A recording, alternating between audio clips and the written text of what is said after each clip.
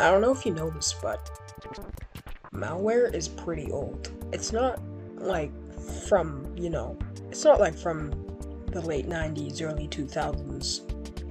It's from the late 80s. Now, I'm not that much of a tech savvy guy or something like that, but I still feel that I can try and make a guess on how far we've come. So, with that being said, let's dive in.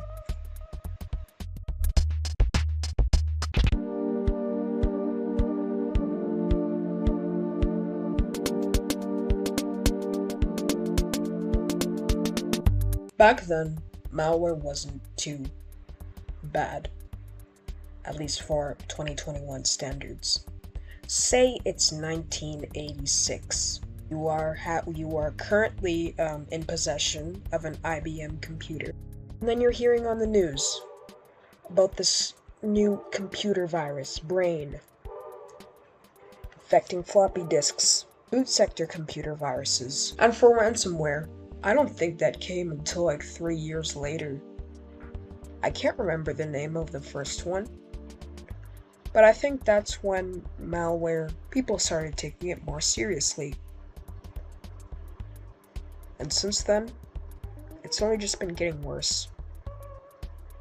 I'm not going to talk about how we can start protecting ourselves because obviously we can just get an antivirus. But what about antiviruses that aren't too good? What about the ones that don't know the names or they don't know about the malware, so they just let it through? That's the problem.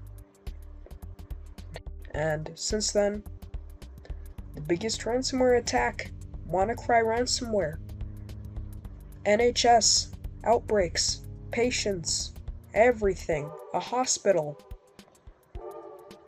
And in the 80s, no one took this too seriously until the I Love You virus came up. People started taking it really seriously in 2017. How more serious are we going to get? That's the problem.